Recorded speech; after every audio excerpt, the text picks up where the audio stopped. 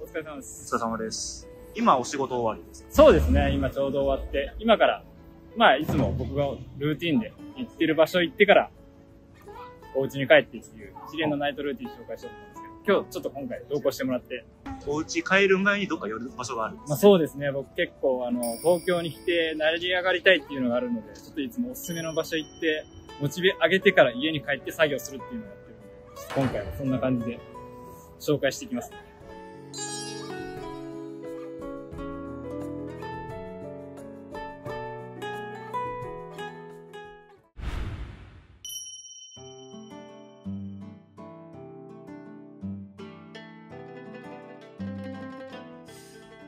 なんか、かっこつけてかタクシーで帰ってる風なんですけど、まあ、半々ぐらいですね。タクシーで帰るか、電車で帰るかは。まあお金もバカになりませんね。そうですね。意外と、なんか、高いですよね、最近タクシー。怒られるけど。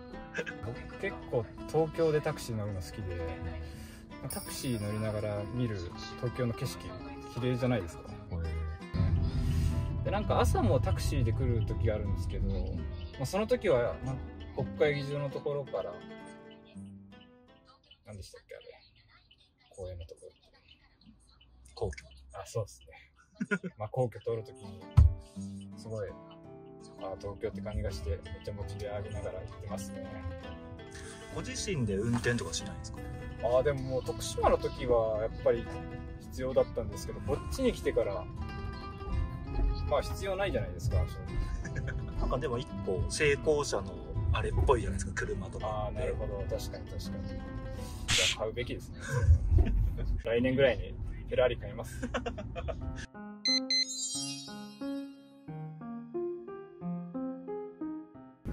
僕なんかだ学生の頃西麻布っていう言葉を知らなかったんですよ。言葉を知らなかった。はいなんか医学部6年生の卒業式あ卒業旅行の時にメルボルンに行ってた時にちょうど医学生の女の子と飲んだ飲んだんですよ。そこで出会って。その子がめちゃくちゃ金持ちの娘だって、はい。で普段どんなこと飲んでるの？って聞いたらジン君とかリョウ君とか飲んでるジン君って誰？って赤西仁とか木戸亮 あそそそういうのってどこで飲むの？って言ったらうーん西麻布って言ってその時に初めて西麻布っていうのを知りました。ねへいやすごい世界ですよね芸能人の闇を感じました、ね。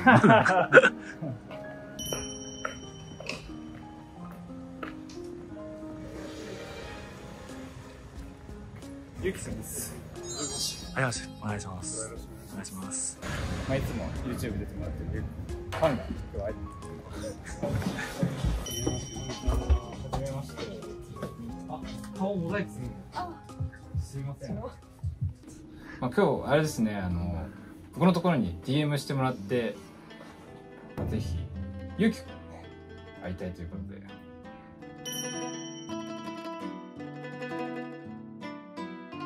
ちなみにちょっと言える範囲でいいんですけど、えっと、今何歳でどういった職業かっていうのだけ聞いてもいいですか？28歳で教育関係。あ教育関係なんですね。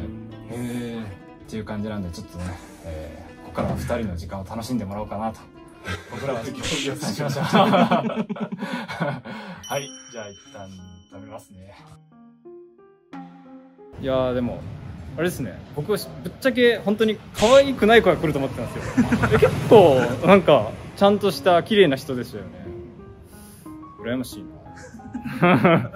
じゃあまあ今からあれですね。僕のいつもなんか疲れた時とかに行ってモチベーション上げるところに行こうかなと思います。はい。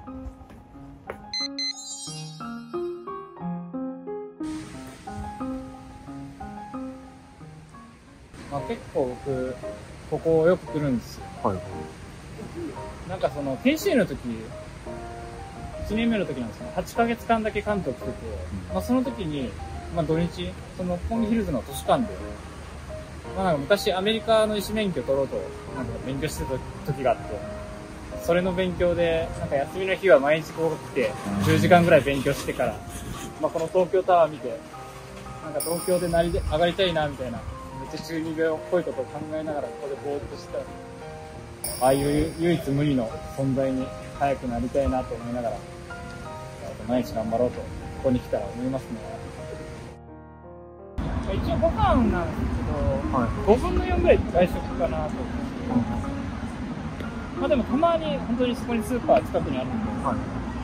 そこで今日はスーパーで買って帰ります。なるほ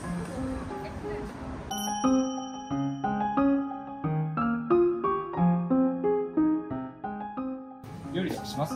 ど。料理しないっすね。しない男性でする人あんまりいないんじゃないまあ、とはいえでも、男性も主婦あれができるようにっああ、料理ができたらモテるみたいな。ていう。まあでも僕はあの、ウーバーとかすればいいと思う。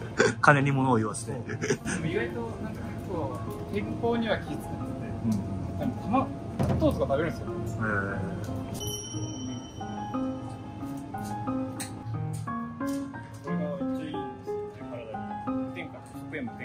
あとは果物ですね。ーあれ、お酒はよく飲まれるんですか？お酒の一人だと絶対飲まないですね。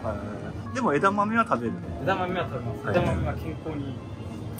あとヘルシーじゃないですか。太んないんですよね。ああ、なるほど。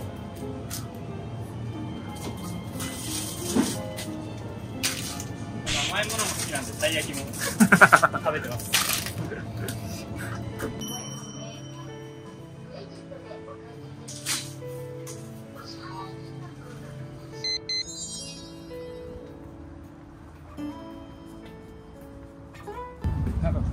マンションもともとはい。ローランドが住んでてええはい。それで決めたんですよめっちゃローランド尊敬しててええっていう話をちょうどこの間たまたま会う機会があってはいはいはローランドに話してい。はい。っていうっていう。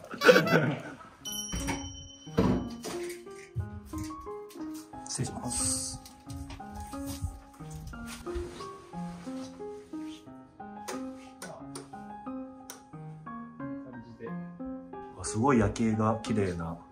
あそうですね。結構、まあ、角部屋だから景色はいいですよね、うん。まあ、結構家はコンパクトにまとまってて。物が少ないというか。物は、うん。そうですね。あんまり僕、まあ、家帰ってきたら寝るだけなんで、まあ、最近清掃代行とかも来てもらったんで1ヶ月に1回か3週間に1回ぐらい来てもらって。うんちょっとせあれですね。料理もできないし片付けもできないんでやってもらってます。家事できない系家事できないですね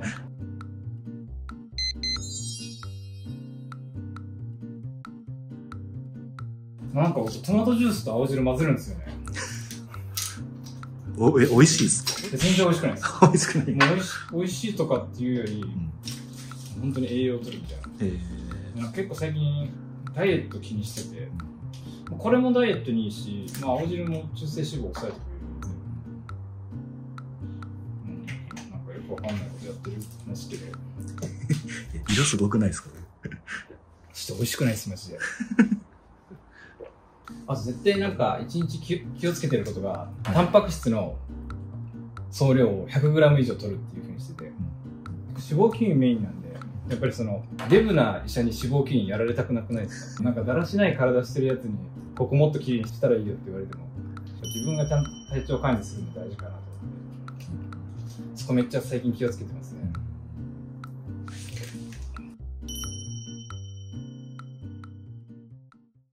まあ飯食ったら、一応下にもジムあるんですよ。のトレーニングルームでジムやるか、まあこの機械。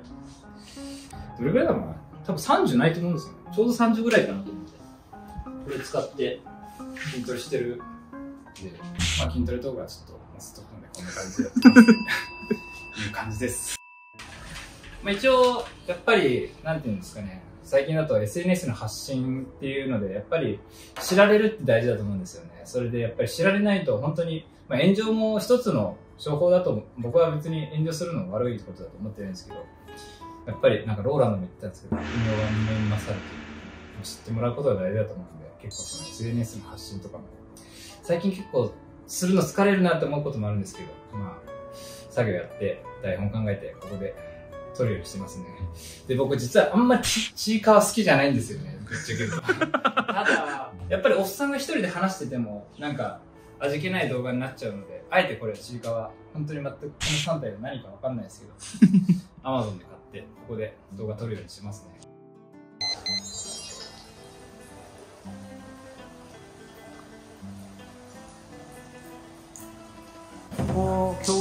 ペースで、まあ自由に使えるんですけど、結構僕、作業、夜とかすることが多くて、iPad 使って SNS の管理とか、あとはマーケティングと、あとはあれですね、再生医学の大学の方も行ってるんで、それの論文とか、まあなんかずっと医学部、医学部生の時から国試の勉強とかもそうなんですけど、本当に紙のものを使ったことなくて、そういう iPad 使って勉強しますね。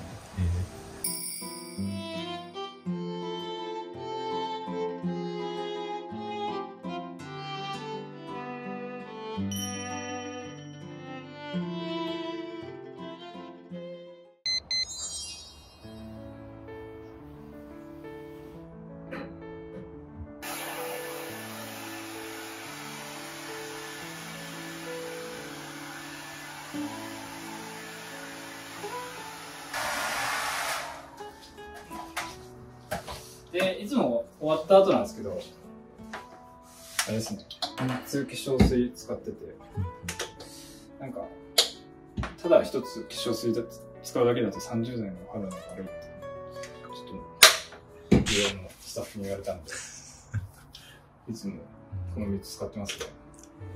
高いやつ。いや、これ、そこら辺に売ってますよ。なんかあんまり別に高いやつ使わなくていいと思うんですけどね。へ保湿が一番大事だと思うんで、僕は肌、極純肌ラボを使ってます。やることやったんであとは寝るだけですね今日もいい一日だったな。じゃあおやすみなさい。